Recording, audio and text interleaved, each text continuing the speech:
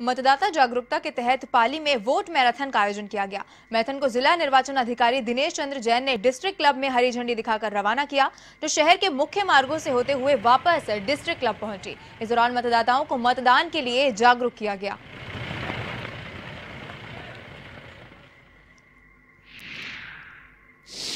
मतदान में भाग लें।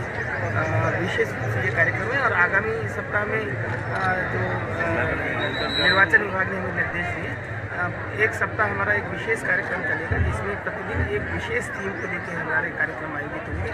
इसमें पुनः शहरी मतदाता युवा मतदाता, महिलाएँ बच्चियाँ, इस तरह के हमने प्रोग्राम किए हैं जिसमें दिव्यांगों के लिए भी एक विशेष कार्यक्रम होगा।